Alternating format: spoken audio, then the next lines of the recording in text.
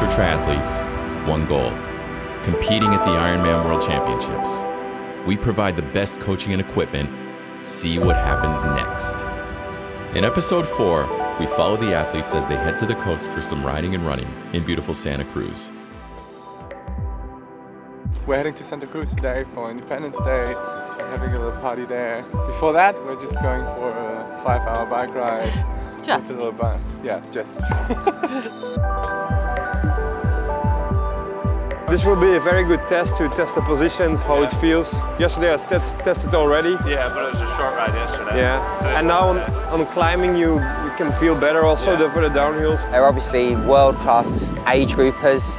You know, they've got full-time jobs, some of them have got families, you know, they've got so much going on, but their passion and commitment to performance and, and you know it's just it's just brilliant to see that. You know Bex has never done an Iron Ironman before and she's got Bolton so there's a lot of pressure there and especially coming here 10 days before her first race so I've got a lot of respect for that.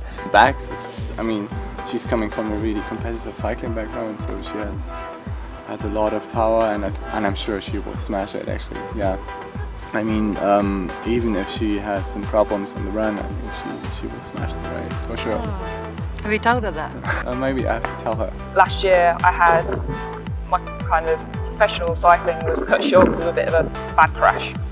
And so that ended in July last year.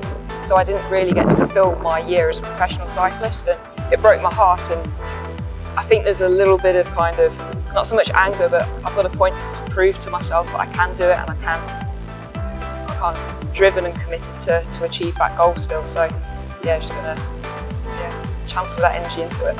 I just ended my interval. I did about three times six minutes, hard uphill, about two, uh, 360 to 400 watts. I was doing three times 10 minutes um, up the hill and then just with five minutes rest.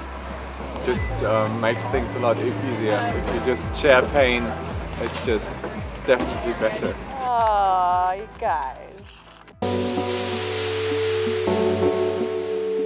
We are cooking up homemade pizzas here. This is the first one. Apparently cheese cheese pizza at first, just to test it. First pizza is always just test the temperature of the oven. And then once it's good, then we get fancy. And we just build it right here.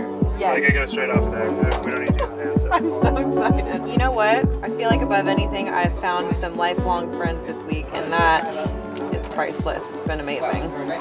It has probably been one of the coolest weeks of my life, honestly. Yes, priority. Thank you.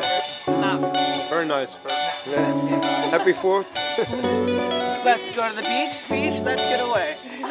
uh, we're going to go and see the fireworks. I actually got an electric longboard at home. I usually go to work. Oh, as a police officer? Yeah. I think that's efficient.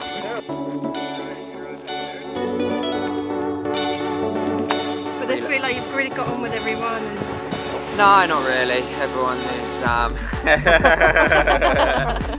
no, it's been awesome. I mean, it's been such a learning experience for everyone. I think, um, you know, working with a company like Specialized, going to the wind tunnel, and um, yeah, doing, being able to do some training as well together in a relaxed environment.